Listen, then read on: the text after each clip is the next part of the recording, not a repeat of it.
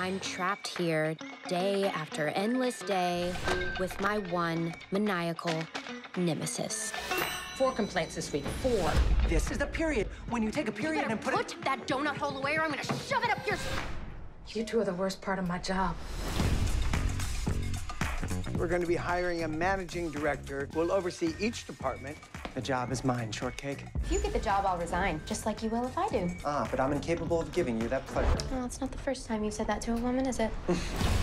Are you and he like there's a vibe there? No. I hate him with a passion. Son of a... Wowzers, what's the occasion?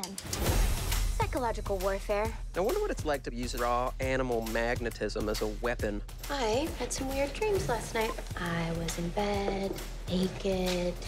I have a theory. What are we doing? This game that we play every day. Hating someone feels disturbingly like falling in love with them.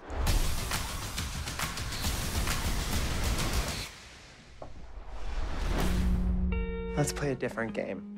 A starting over game. Why? I, I don't want to be some experiment before you settle down. We, we are competing for the same job. It is impossible to trust each other. I'm in this. And you can trust that. I told you she'd back off if you let her think that she could pet the pony. I don't need any help beating her. You would just do whatever it takes to win. Whatever this is, I don't want to do it anymore.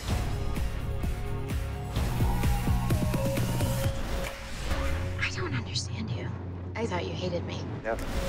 So, what game should we play now?